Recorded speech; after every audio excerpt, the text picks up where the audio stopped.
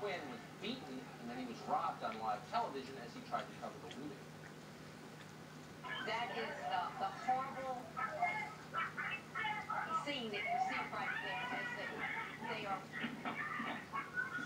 well, wanting to make sure that Stephen is all right. In Portland, Oregon, a man was beaten apparently for daring to carry an American flag in public. He never released the flag,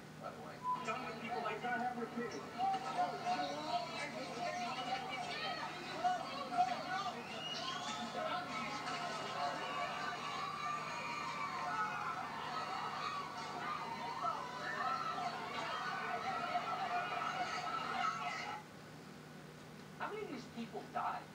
How many were murdered by the riot? We don't know yet. At the least, some were likely disabled for life. They were beaten that badly. And then there was the mass stealing. It seemed to be everywhere over the weekend. In Buckhead, an upscale part of Atlanta, rioters stole a Tesla from a dealership and drove it through an indoor mall, just to underscore how completely out of control things were. In Portland, Oregon, mobs looted Louis Vuitton, Apple, and Chase Bank, among many others. They often set fires as they left.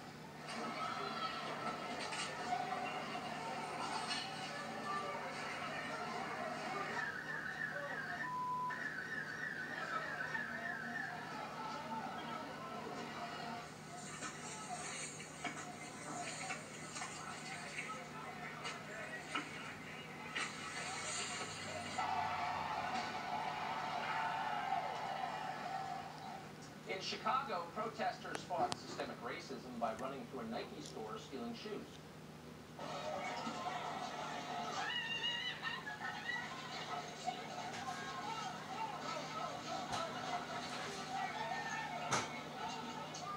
And in Washington, D.C., a federal city surrounded by military bases and protected at all times by the single highest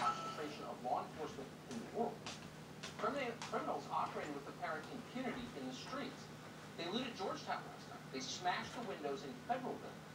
They desecrated virtually every war memorial in the city a week after Memorial Day.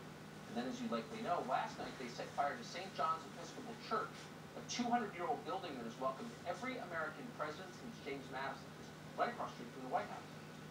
For people stuck inside anywhere during this insanity, sick, the elderly, the powerless, the experience was terrifying. Listen to this woman from Minneapolis. How was last night?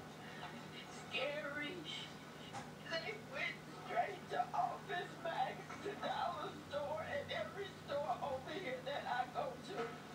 I have nowhere to go now. I have no way to get there because the buses aren't running. So that's what's happening in America right now. We didn't play all of the tape we have. There's a lot of it. Some of the tape is too shocking, and honestly, it's too incendiary. We understand that television is an emotional medium, and we don't want to make things worse. We're not going to. But you get the point. The point